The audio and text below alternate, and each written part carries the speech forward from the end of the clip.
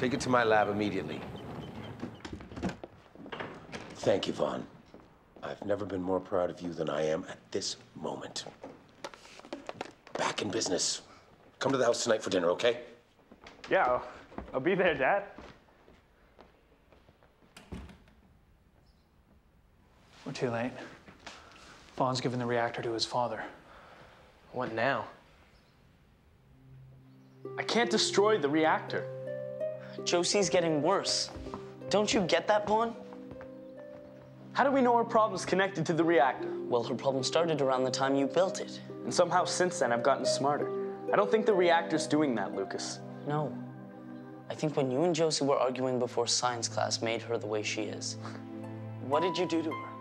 I have no idea what you're talking about. I think I liked you better less smart. Thanks a lot, Corinne. Less smart? I'm Josie. I'm sorry I don't remember your name. I'm Vaughn. Right. Vaughn. Right. Well,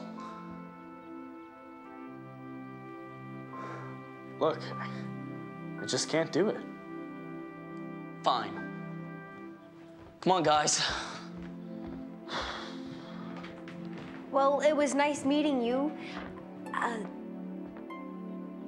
Vaughn. nice name.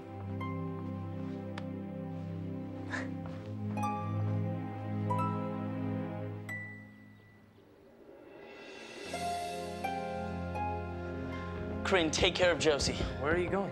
Where are we going? Josie's abilities are diminishing rapidly, Vaughn.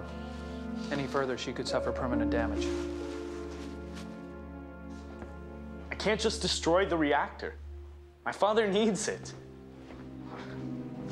Look, something happened the other night. I can't tell you what, but I've never seen my father so broken. It was like his life was over.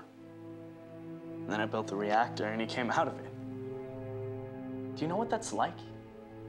Doing something for your father that no one else can do. No. I can't even imagine. But it sounds wonderful. But then again, it's a feeling you didn't earn. Those plans didn't belong to you.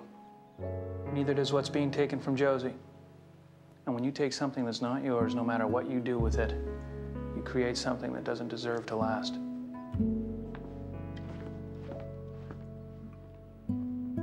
It's hardly wonderful at all.